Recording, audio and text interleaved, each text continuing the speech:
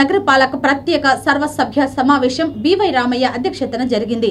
Municipal పాలనపై ప్రత్యేక విజ్ఞానం అనుభవం కలిగిన ముగ్గురిని అదేవిధంగా మైనారిటీ వర్గంల నుండి ఇద్దరిని మొత్తం ఐదుగురిని కో ఆప్షన్ సభ్యులను ఏకగ్రీవంగా ఎన్నుకోవడం జరిగిందని మేయర్ బివై రామయ్య తెలియజేశారు. ఈ సర్వసభ్య సమావేశానికి పాణ్యం ఎమ్మెల్యే కాటసాని రాంభూపాల్ రెడ్డి నగర ఎమ్మెల్యే అఫీస్ ఖాన్ మరియు కార్పొరేటర్లు పాల్గొన్నారు.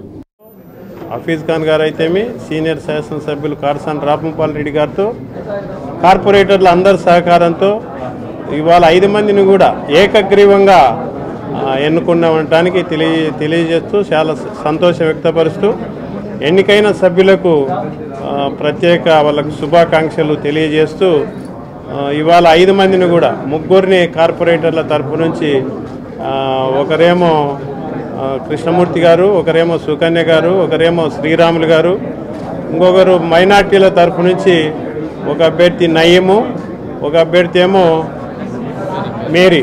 ఐదు మందిని కూడా ఇనామినేషన్గా ఎలక్ట్ చేసుకుందామని చెప్పడానికి సంతోషపడుతుంది